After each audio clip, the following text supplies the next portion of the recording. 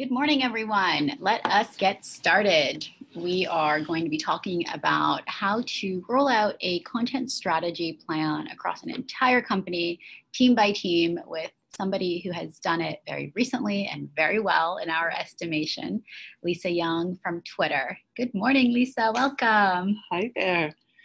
It's great to be here today. Oh, I'm so excited for our conversation. Uh, these webinars are always so much fun. We've got such a great community, a great budding community mm-hmm. of other content strategists. So, really excited for the conversation we're going to have. Yeah. So, a little bit of background. Um, Lisa, do you want to introduce yourself and sure. Kind of do a little bit of a bio? Yeah, of course. Yeah. Um, so, as May said, I'm Lisa Young.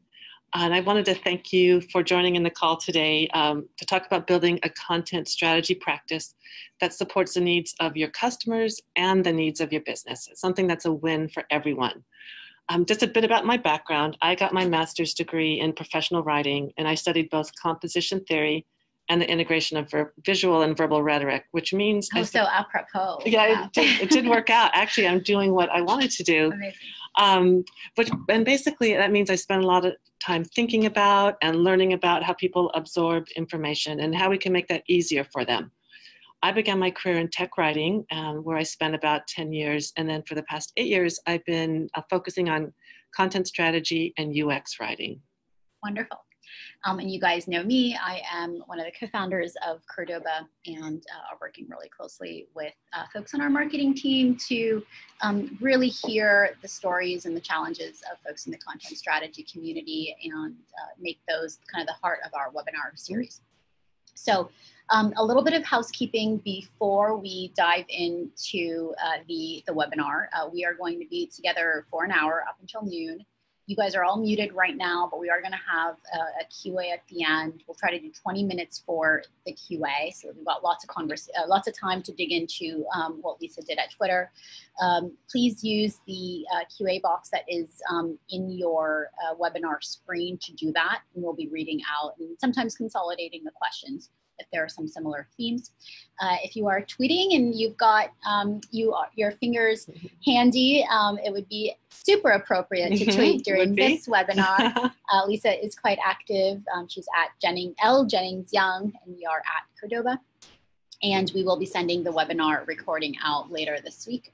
Um, with a very special exclusive to this webinar um, product sign up link. So I'm excited for that. Okay, and with that, we would love for you to Great. begin. Great, you, okay. Great. So I'd like to start by sharing uh, a belief that I have, a deeply held belief, and that's content strategy is essential for every company that wants to effectively communicate with its customers. In a world of so much noise, we have to be great communicators or nobody hears us.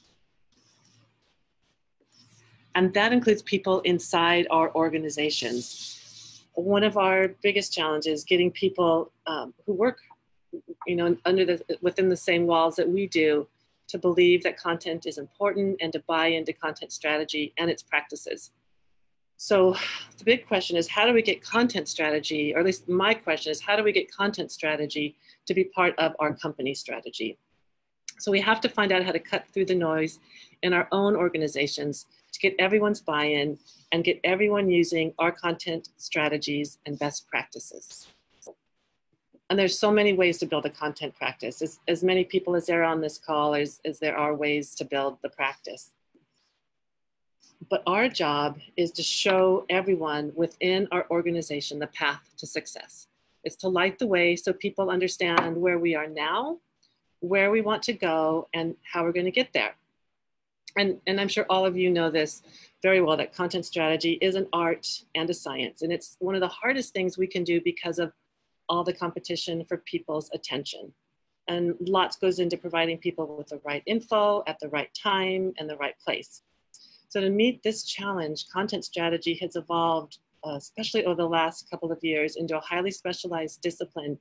And it's more than just supporting the needs of the customers, it's also about the, supporting the needs of our business. As a content strategist and copywriter, I draw upon a holistic approach to product content or to product strategy and content strategy that's based on my experience that business problem or that content problems are often business problems. Oh, I love that. Um, and here's a, an example of how I think holistically about content strategy. Uh, and where I really kind of came to this realization and this holistic approach was I was at a fintech company called Advent Software. And I was doing content strategy for their financial data products. And, and one of our content problems was that our customers were con, uh, constantly confused about the plethora of our data products and services. What did each one do? How did they all fit together? So my starting place was a, a massive inventory and audit of all the content for our data products across the customer journey, starting with pre-sales, sales enablement, or sales enablement, marketing, technical writing, and then getting all the way to the support materials. And what I found was that at any particular stage, the customers could meet a different advent. Um, different voice, uh, different terminology, value props, even sometimes different names for the same products. It was confusing. So yes, it was a content problem, but it was also a business problem resulting from the software products being developed, marketed, sold, and sometimes supported by different business units.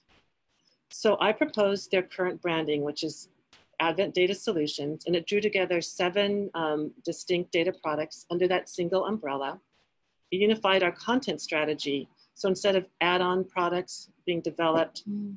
Um, or, or, but it unified our content strategy, but also resulted in a more holistic approach to our business processes. And within a year and a half or two years, we had a single business unit called Advent Data Solutions. Awesome. And instead of those add-on products being developed, marketed, sold, supported, we all these different um, teams and business unit, units, we had one business unit, Advent Data Solutions, uh, one team, one unified product and content strategy. So we had a clear path to success for both our customers and our business. I love that. Content strategy is business strategy. So here are the three stages I want to share with you today about how I've created that clear path. One, um, establishing your purpose and getting buy-in. Next is building your strategy and then rolling it out to your organization. And the first step um, in building that path, so is establishing your purpose and getting buy-in. Here's a quote that really changed the way I think about my job and my work within an organization. And it's by an amazing content strategist, Rick Allen from Eat Media. He specializes in um, content measurement and analytics. Um, and what he said at a, a, workshop I had with him was no clear purpose means no clear value and no way to measure success. So I was hired at Twitter to create a strategy for scaling their content, the content practice in our design org. Um, it would include people as well as processes. So at Twitter, my purpose is building that scalable practice. That's what gets me in my seat every day.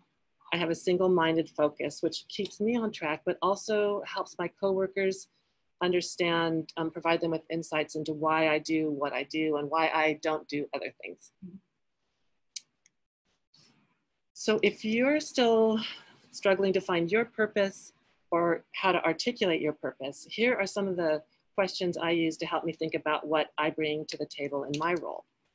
Um, the first one is um, one the one that I wanted to talk about today, and, and you can just uh, refer to the rest, but it's really, again, this holistic approach to content strategy. It's connecting those dots between the business activities and those design activities that impact your content. Um, and this is the thing that I love most about this work. It connects the organization's um, content efforts with the business goals and the user needs. So in everything that I do related to content, I really try to make sure it's mapping back to those requirements, business goals and user goals. Um, and I think it's pretty terrific because it means that I get to make friends with just about everyone inside the organization along the way. So the stages for getting buy-in. Once you have your purpose, you know, it's time to get buy-in. And these were my stages of getting buy-in for the content strategy at Twitter. I started with my manager, so he hired me to create a st strategy to scale our practice. So this part was easy. Um, then I got an executive sponsor to help with introductions, advise me on things like who to include in reviews and presentations and who not to include. Um, he helped me understand the value propositions um, on the Qordoba platform that would particularly resonate with um, different stakeholders and how to make my way through complex processes like um, security risk reviews and um, getting sign off on the PO. Um, aligning with company KPIs, that was one of the things that actually my executive sponsor helped me with. At Twitter, our top KPI is health of the platform. So we made sure from the start that we were thinking about, you know, when we were telling the story, how we would align with um, those top KPIs, especially health. And explain to our listeners what health means at uh, Twitter okay. in terms yeah. of the conversational. Yeah, great. Health is it is a broad um, a broad um, a broad uh, actually swath of the, the work we do. Um, it includes things like um, account security, privacy data protection, um, identity management, even things which are kind of on the verge of, of health and conversation, like the ability to control your conversation, which is a new feature we just released where you can hide replies and conversations that you start. Yeah. Mm-hmm. And it's basically, it's just about helping people feel safe on the platform and positive. Yeah. And none of those features exist without the content to explain them, which is Absolutely. why the strategy is so important. Absolutely. And in fact, in the health area, content, there's more content in that area than anywhere else in the platform. Mm-hmm. Um, okay, so then aligning with stakeholders, goals, and challenges. So in my work, aligning um, with folks in design and engineering were the most vital. So I built those first. Um, having advocates early on sets the tone for everything that follows and gives gave me champions in the room when I wasn't there. And then I got in alignment with other content heavy teams um, that have a stake in product content like marketing, communications, and legal. And I think in all of this, the key is to understand and to be able to demonstrate that you understand the hopes and dreams and challenges or pain points of your colleagues, these other teams that you work with and to be able to frame your project in terms that resonate with them.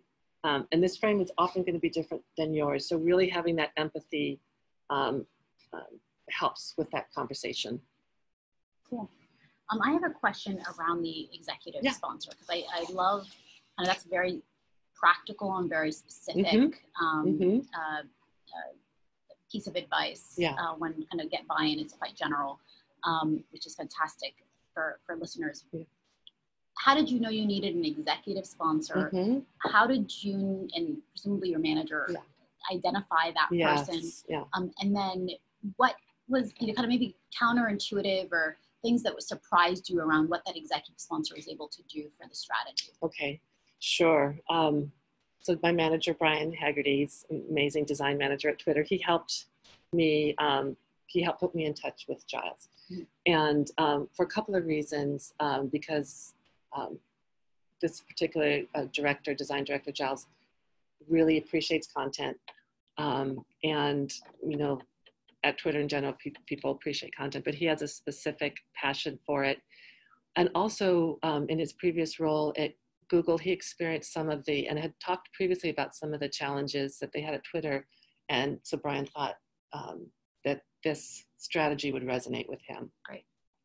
What was your second question? Um, the second question was around, um, you know, what uh, cross-functional doors were opened oh, because you didn't have sort of a generic executive executive team that was mm-hmm. excited about because you had one kind of advocate yes, sponsor. Yeah, exactly. Because what I think is so cool about what you were able to do, and you know, product design is no small team at Twitter. I mean, yeah, you guys run the place. Exactly. Um, but you were really able to, from a seat on the design team, really bring a bunch of teams right. on board to the strategy. Right. So what was the executive sponsor's role in yeah. helping you make that happen? Um,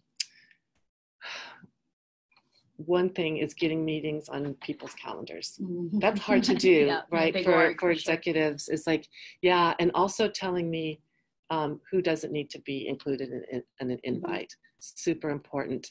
Um, and he also helped me um, roll up again the, the ideas of the things that excite me about Qordoba and what we can do with the content aren't necessarily the things that are going to be the most exciting to an engineering team. So mm-hmm. to help me really tailor the story so that I was um, talking about the benefits to different different teams as it would really resonate with them. Cool. Um, and then the idea of rolling up to um, the health KPI. KPI. that was his suggestion, and it was a great one. Great. Why did you start with engineering? Okay. Yeah, engineering is um, they hold the keys in a lot of organization to publishing content, mm-hmm. um, as I do at at Twitter, and um, I learned um, early on working in engineering-led companies that the um, the content work is not their favorite mm-hmm. piece. you know, cutting and pasting and putting into the code or into the strings is not their favorite, and um, doing that kind of work, um, like, um, isn't. It takes a lot of the time. It takes it away from other priorities. So I have a, um, a, a story I could share. This is again when I was at Advent, and I brought on a, a, a content platform for onboarding, and I was super excited about it because it would be finally a chance that we could holistically like fine tune our brand voice, like move the whole content system. Because you have access to the content itself. Exactly. Yeah, we could we could fine tune. Um, we could look at our lexicon, make it much more um, you know specific, specific and and consistent. But this wasn't necessarily what um, resonated with my engineering partner. And I remember he said to me, Lise, this isn't poetry, which like, you know, put a dagger in my heart, you know. When and I talked to him about the brand voice part. yeah, yeah, yeah. Yes, like this is not poetry, Lise.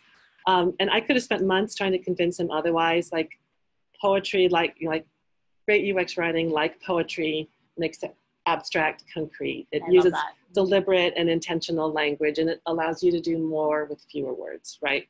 uh, it motivates and encourages action. But that never would have mm-hmm. changed his mind or brought him on board. But so at, at, that time, I worked with my executive sponsor, who was an engineering manager, a vice president of engineering, who helped me craft the business case um, around this idea of what would resonate with engineering. Um, Advent's a very engineering-led company, which is um, the ability within that platform to separate the content layer from the application layer. So Giving we them time totally saving them time and some really, you know, unsatisfying work, you know, yeah. copying, pasting and pushing and looking for errors. Yeah, it's not what engineers are there yeah. for. Yeah, exactly. Cool. Thank you. Um, so next one is building your strategy. Um, to start, here are some of the things that I thought about at Twitter when we were building our strategy. Um, and and these are some of the things you may want to think about too. I'm sure you'll have many others, but writing guidelines obviously has to be there at the top. Something that I'm really passionate about and I've done a lot of work in, which is structure. Um, you know, those metadata and tags so you can um, efficiently, efficiently manage your content over time. Um, the ability to easily uh, inventory and audit. That, that inventory and audit I talked about at the beginning was manual. It was mm-hmm. very time consuming done in the spreadsheet and I don't recommend it, but you know, when you're thinking about this, an ability to easily inventory and audit. Collaboration tools, separating that content layer, we just talked about that from the app layer.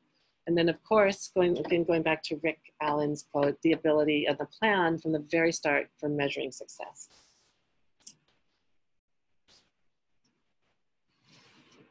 So at Twitter, here's where I started thinking about a strategy, a new strategy for our product content and I started with elevating um, our impact on the user experience. Like, how could we elevate that impact, but also simplify the way that we worked? During my interview, I asked my now manager uh, about what he thought was the biggest challenge to solve in, in Twitter design for content.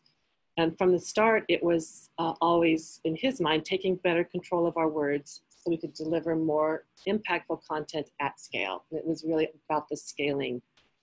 Um, so then we discussed what it would look like to hit hit it out of the park within the first year.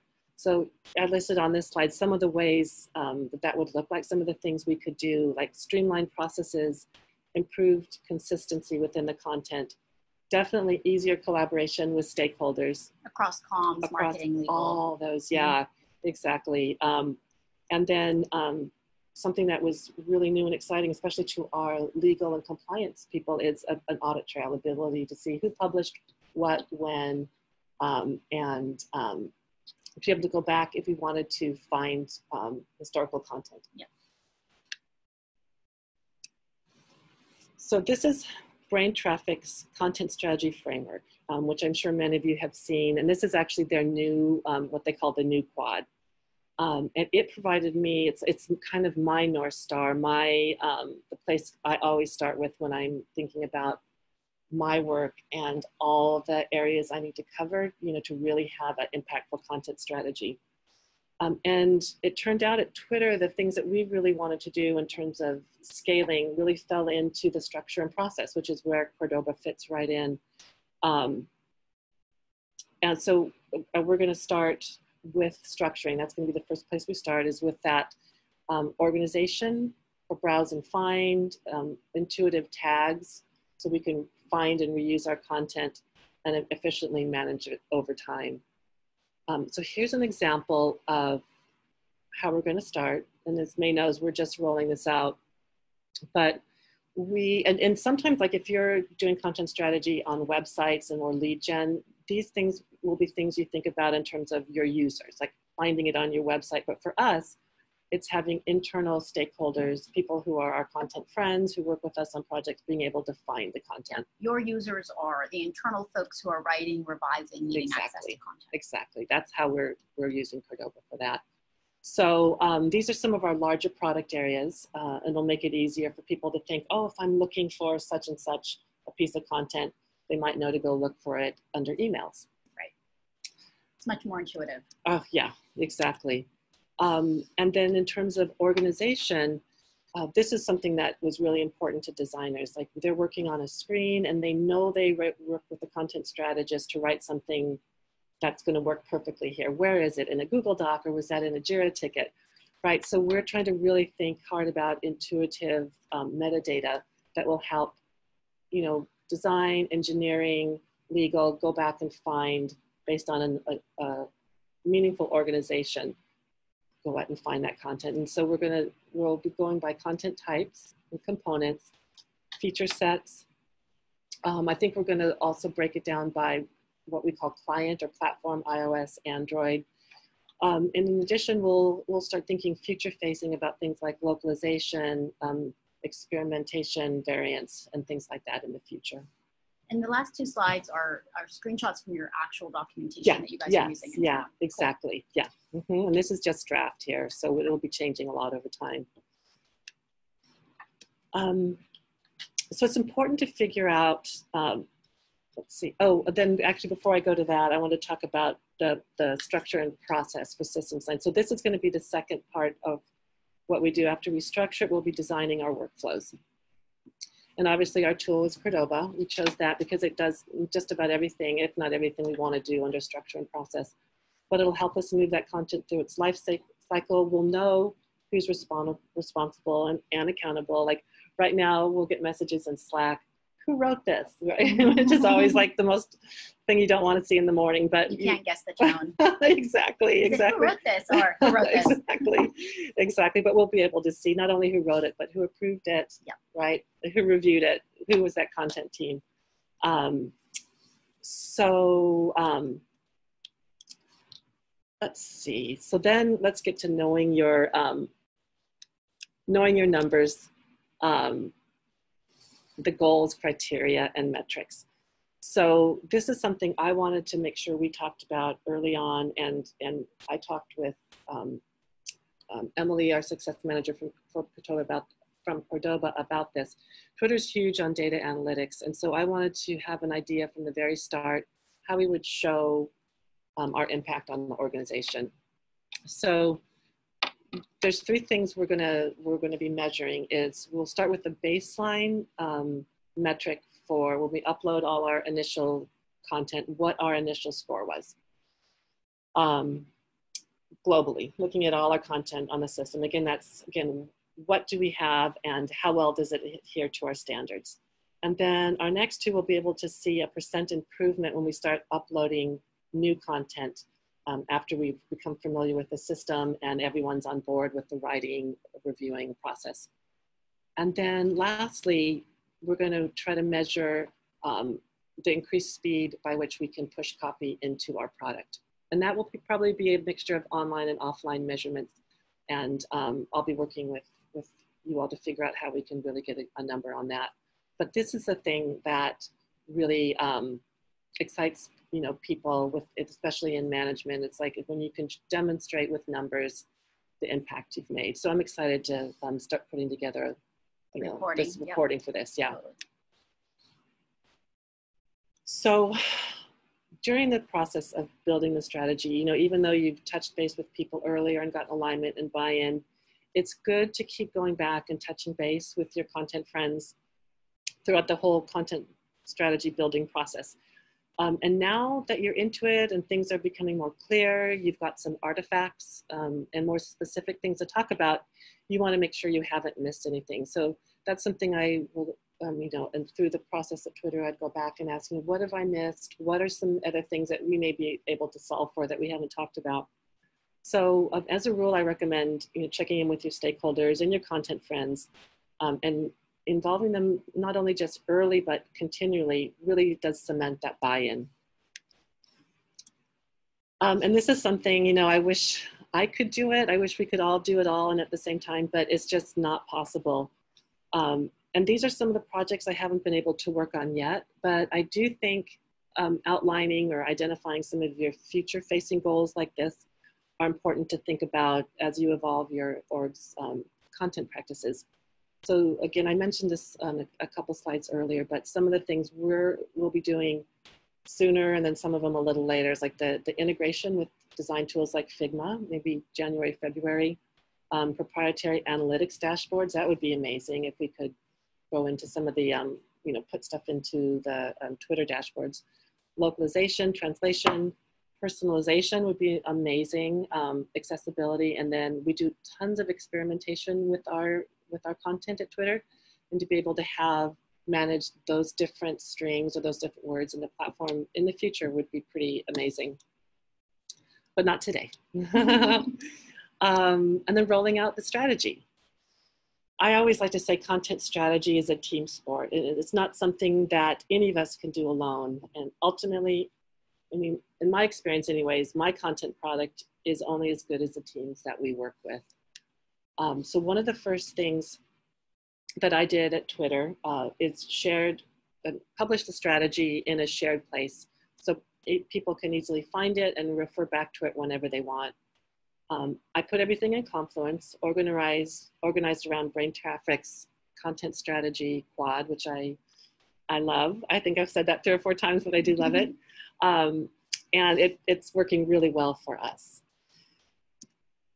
And then with that shared strategy, I think it's important to tell your stories. And so these are some draft versions of a belief, purpose, and editorial mission statement.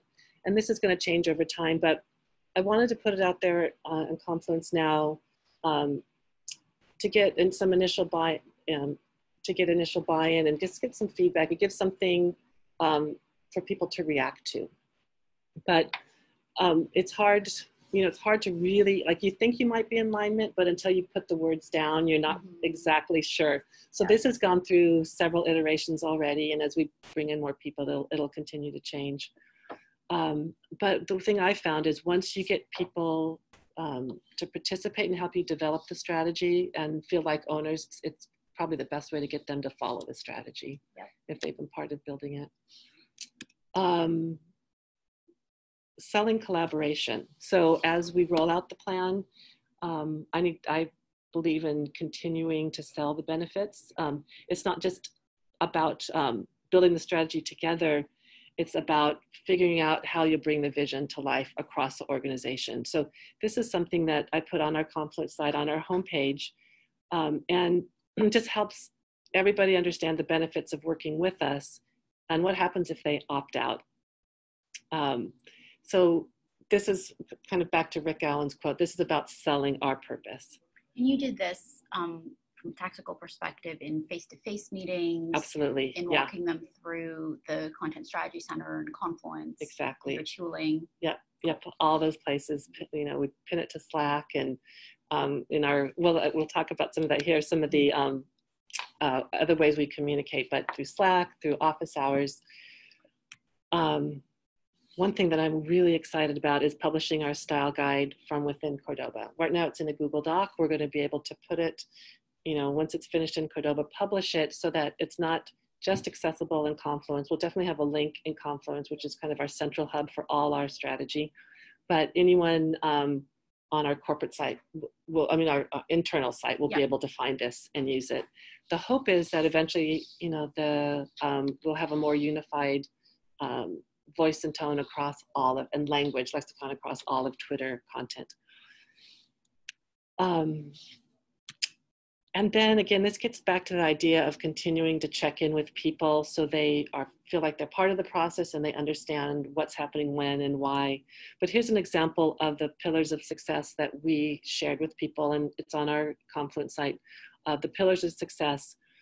So getting that buy-in and alignment is just an ongoing effort, and it helps people see that path to success. So for us, it's getting the guidelines into the system, you know, out of our Google Doc and into the system. Um, it's doing that initial inventory and audit. What do we have? How well does it adhere to our style standards? Uh, it's that, that initial upload of all our content, content fine tuning the scoring.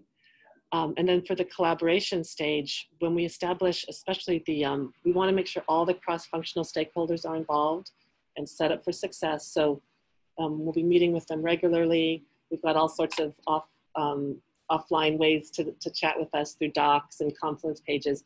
But we'll be working on our structure and our processes. Um, and then the last, the, the, you know, most important thing is that iterate and push and where we can really show that we've scaled our practice through integration with our string center um, and getting the, the words into the products quicker. Um, we talked a little bit about getting people to ask questions and stay involved. And so here's, here are some of the things that I mentioned earlier, that Slack channel. Um, of course, we have Jira and a, a homepage on Jira. We have calendar bookings, office hours, and we log our weekly sessions so people can go back and find out what, what we've been talking about and what they might want to talk to us about. Um, and then um, uh, pilot projects. So these were some of the ones um, these are some of the ways I chose the pilot projects at Twitter. Um, and if you're still trying to find um, the ways, here are some suggestions. And, and really um, is finding those products, projects that align with the company objectives. We talked about that at Twitter It's Health. Finding people who are excited about the work. Um, and then really starting small to get those quick wins. So at Twitter, we're starting with an account security team because it rolls up to our health KPI um, it's a very defined project. Um, and the team is super excited about Qordoba because it's the, the engineering team, I should say, because it's very copy heavy. Mm-hmm. So they're really excited to um, have a different way to work with content strategy.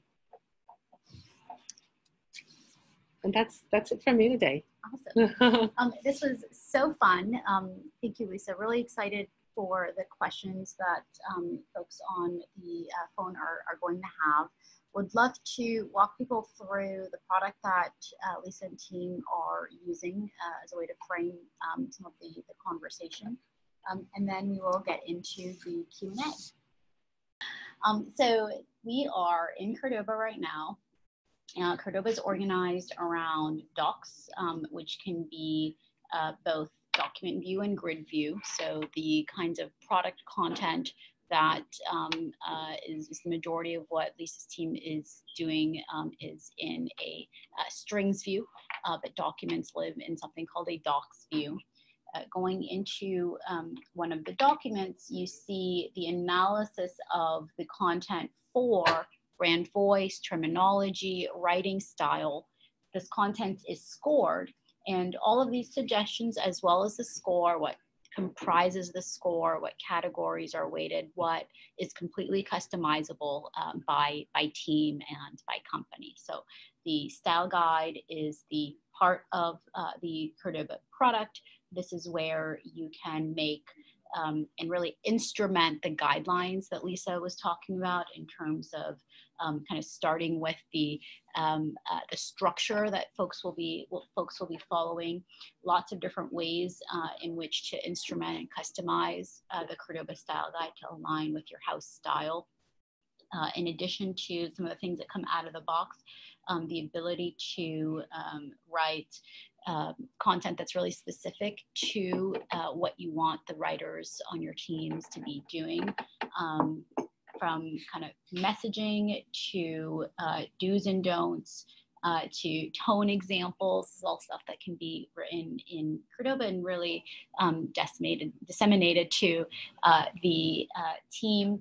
There is um, a personalization and kind of sharing component here. And so um, you can have, this is ours, um, you can have um, your guidelines living um, at a URL that can be protected or, um, or, or, live um, kind of on the web, but really allows folks to um, uh, really quickly put together uh, what the guidelines are and uh, help everybody have visibility into that the ability to uh, uh, integrate with engineering on product UX is um, also a, uh, big part of the, the product. And so um, this is uh, some of the views that Lisa's mm-hmm. team is, is looking at, and, and this is what um, you can use to kind of tag and um, uh, uh, kind of recombine um, content in a way that doesn't impact engineering flows and the engineers don't really have to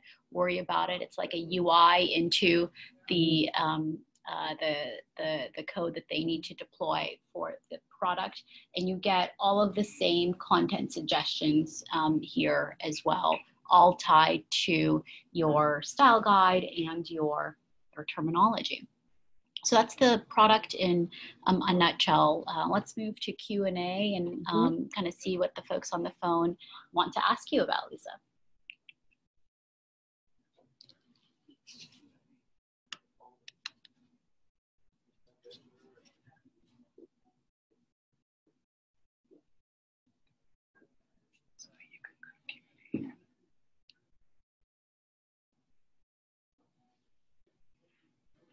Okay, wonderful.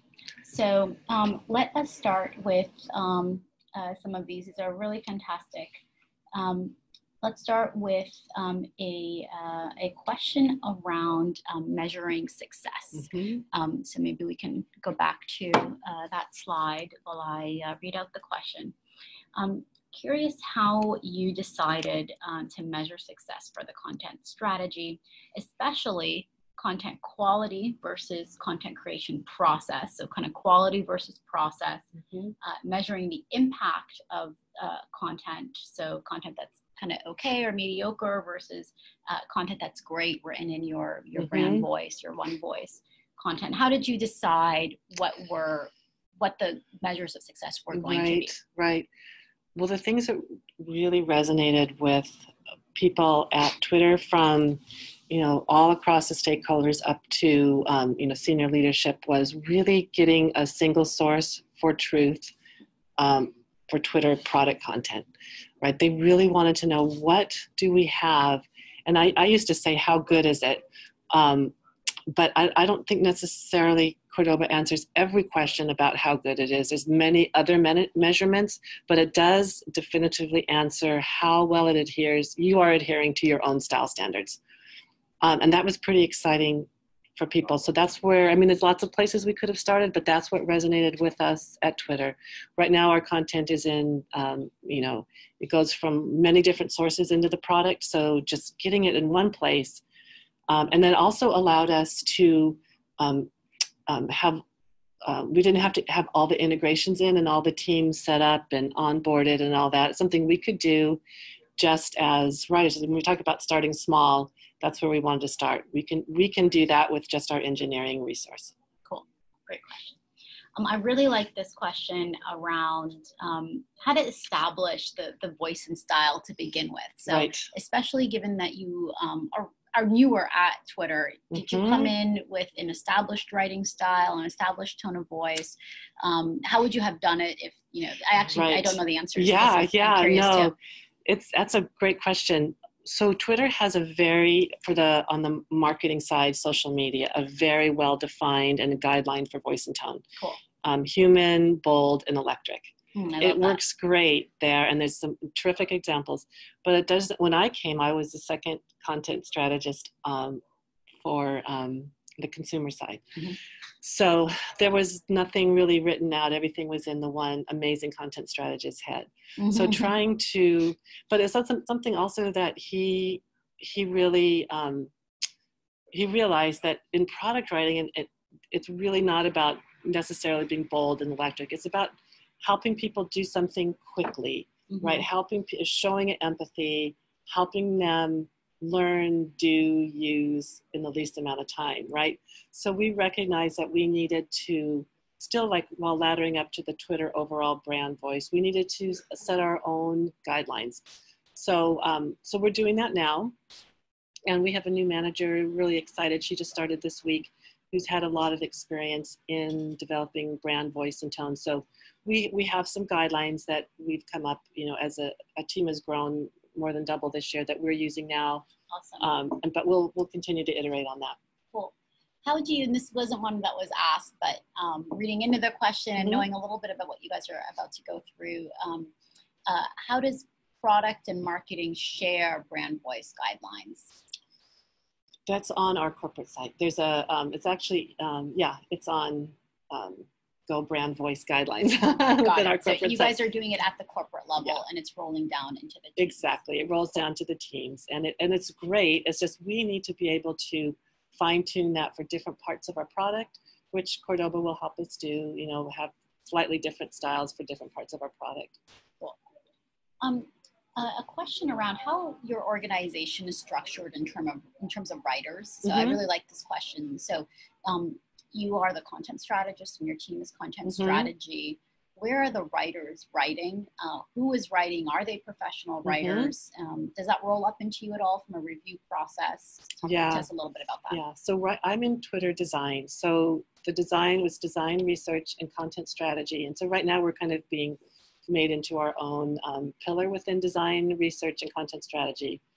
And so uh, we have content strategists that work on you know, different you know, consumer and business products, and um, but there are content strategists spread throughout Twitter, um, and we haven't up to this date been you know really sharing resources, but that's something now that we've got our uh, a new manager who's going to have the bandwidth for that. We'll be really trying to um, think about how we can do more unification across Twitter.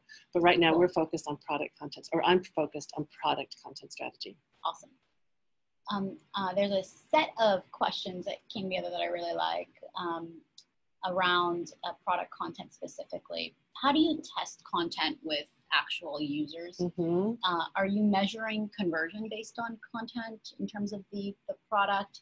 Uh, and then this is unrelated to the first two, but related to some of the other questions being asked, how do you demonstrate the value of content to non-content folk?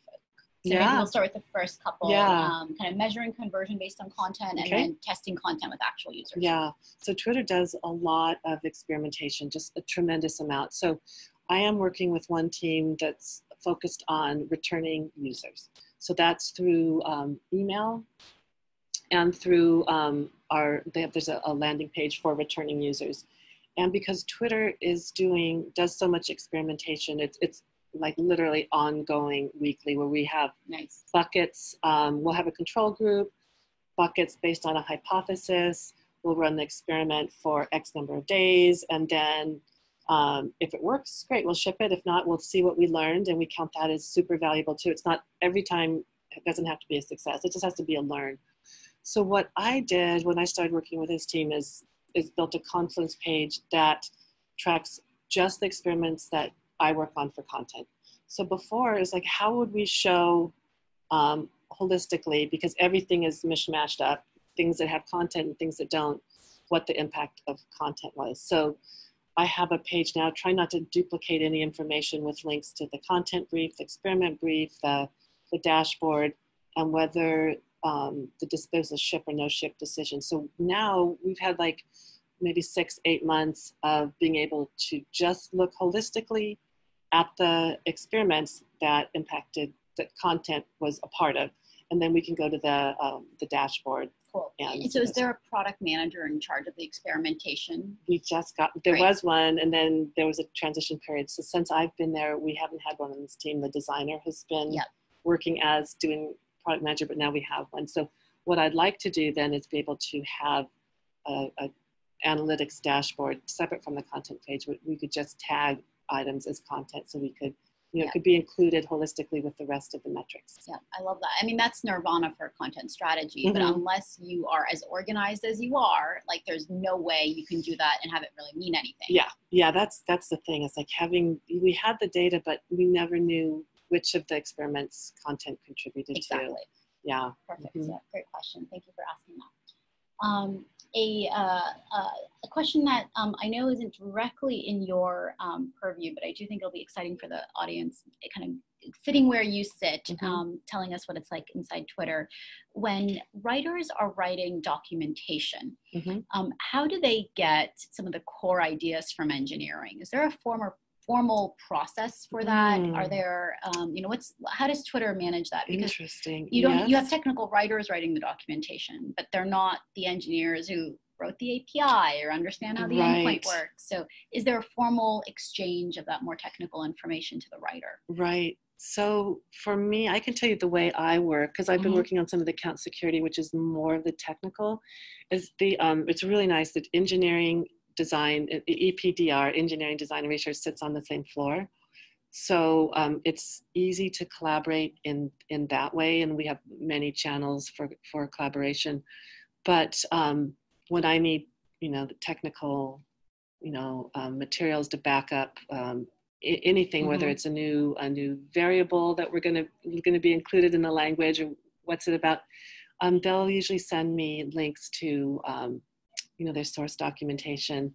Um, their own people- internal Yes. Yep. Yeah. Yeah. People are always available. and that for, sits in confluence sometimes yeah. Sometimes Mhm. it's in com- a lot of lot of Google Docs that Yeah. are would be linked in a Jira ticket. Um, or I will do often a pair writing session, which I think is the quickest way to get something done. Um, is to sit down with one or two or whoever the engineer, the product manager, whomever needs to be there. Um, and um, you know, after doing the research and kind of absorbing the requirements and you know what we're trying to achieve for the business, for the user, do some pair writing. okay wow pair writing very cool i haven't heard of that before Mm-hmm. I love that. Yeah. Actually, I thought I invented it, but I didn't. oh. It's like I was like, oh, I do this thing. No, it's a thing. It's out Nice. there. You can actually search it, and it's it's a great way to go from start to finish in the fastest amount of time. wow amazing Mhm. um, i Mhm. want to do another webinar on just We that can do that. yeah because that'll help a lot of people so on on that vein um, or in that vein how do you coach non-writers on how to properly write Product content. let's let's be specific on product content Right. Well, there and one is one of the um, hugest benefits of Qordoba will be you know making it easy for non non writers or non content strategists. Like everybody writes. At some level, I am always amazed how many people are really good writers whose job it Yes. not to write. Mhm. Uh, so, but um, some of the work I do, you know, I will I will do pair writing with them. I'll say just do a, a shitty first draft, and that takes off a lot of the pressure. It's like just just the ideas. It doesn't have to be perfect, and Mhm. please don't make it perfect. Um, something else that I learned uh, also the hard way is some sometimes it's, it's good for people to know that there's a style guide available and that you will be trying to adhere to that because Yep. they can get their feelings hurt as we all can you know you, Mhm. you're excited to get the review back and then there's a lot of changes but sharing the style guide up front kind of walking people through it and helping people kind of understand some of the the reasoning is very helpful Um, some questions uh, on on product and marketing again, um, just because it, it's it's logical that um, the two strategies are coherent. Mhm. Do you have content strategy peers that sit on the marketing side? yes Okay. there are yeah uh, and and to date we haven't um, done a lot of collaboration but I. I do hope that changes Okay, Mhm. cool, fantastic, great question. Um, so right now, kind of product and design content strategy is separate from marketing content Mhm. strategy. Got it. And that's both on the consumer side of the house and your business Correct. ad side. Yeah. Cool. Um, and uh, and that's a question. Your um, poetry example resonated with with some folks. Um, when engineers are shown that the words make a difference, that the poetry works, yeah um, are do they become converts? Uh, are they still skeptics?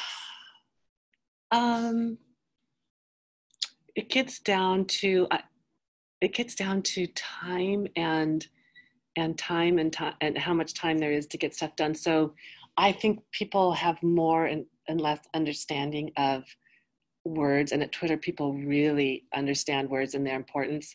but what really makes the difference, what moves the needle, is um, in terms of you know of of getting uh, buy-in from engineers to a content strategy is things that removes them from that um, that copy paste work you know from mm-hmm. having to mm-hmm. go into the code and look for errors and you know make little changes mm-hmm. um, but um, i do think in, you know metrics is a way because twitter is a very much also an engineering company but they see the the way that words individual words just tiny tweaks even switching word order can change metrics mm-hmm.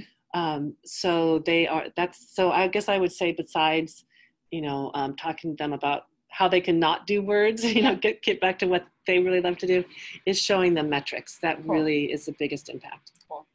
I love that. Um, now, not everybody is going to have that, right? The ability to, whether it's to engineering or to stakeholders, yeah. to be able yeah. to show the experimentation that yeah. even word order impacts. Yeah, right. That takes a that takes a team. Yeah, that takes That's why when I talk about you know content strategy is a team sport and my experience my content is not ever going to be tremendously better than the team that i work with is mm-hmm. because of those things yeah. you know uh, on the the business significance of the uh, content auditing um, that you are doing and have mm-hmm. done in the past how were you able to um, kind of show an executive team that doing that audit is going to have you know significant oh, business oh gosh impact? yeah for sure um, well, showing them an audit, um, and there are tools that can do automated audits. One is called, it's actually called Content Audit Tool, CAT. You could probably mm-hmm. Google that and find it. It does a very quick crawl of just external websites. So if yours is internal or product, it, it wouldn't work for that. But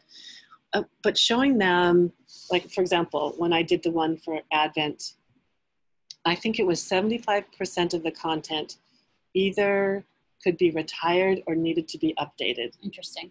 So that's 75% of the content. And it wasn't like huge, hugely wrong, but that percent of the content could be retired or updated.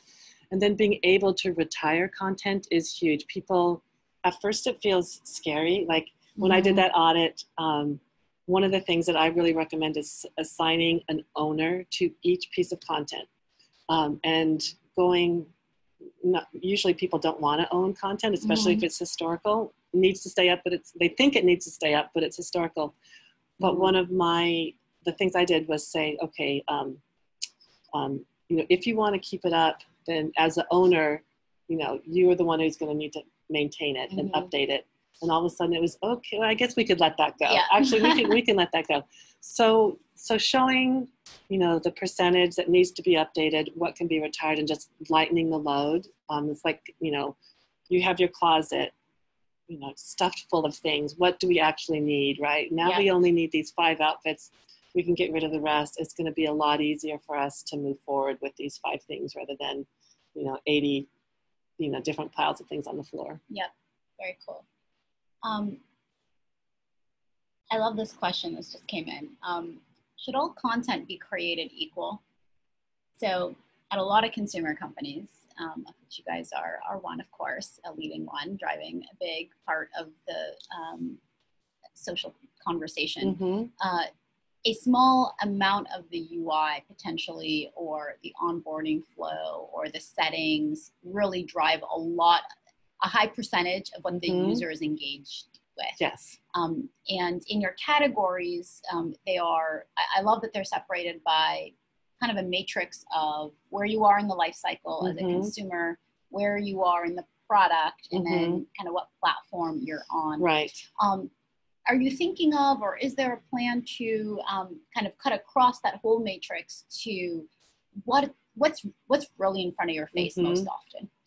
Yeah we do have we do consider that for yeah, sure because cool. you can't there is not time as much as you want for everything at least not now so you do have to prioritize and i think there's different you know different ways of doing that but but personally it's um, you know how important it is is it like a lot of the stuff around account security onboarding will get a lot of eyes on it like mm-hmm. a lot a lot of people will look at it whereas some of the things that are more around um, some of the more fun parts of Twitter, they don't have as many eyes. They don't have as mm. not as many people are concerned that we absolutely get it right yep. and Um, so it depends where you are in the product for sure. Yeah, there's high stakes and then also Yeah, high visibility, and those are there's a Venn diagram, but those Mhm. can be separate things. For sure. Awesome.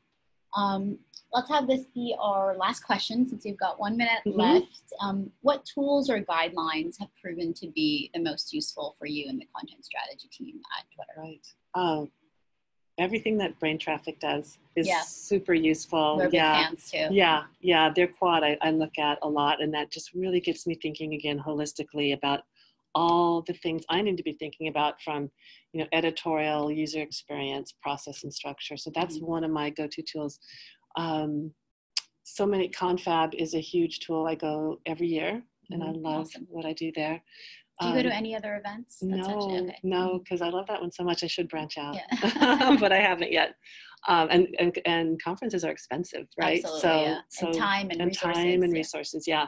Um, and then I'm just as you know, I'm super excited about Qordoba. That's going to be really game changing for us. Cool. Awesome. Well, we've Mhm. uh, loved collaborating with you Mhm. as well and love the way you think about uh, content strategy at um, uh, in product teams, um, especially, but lots of other things Mhm. as well. So um, awesome to have you with It was us. great to Thank be you here. so Thanks much, Lisa. everybody for for joining us. Yes, it was lovely. Thanks, everyone.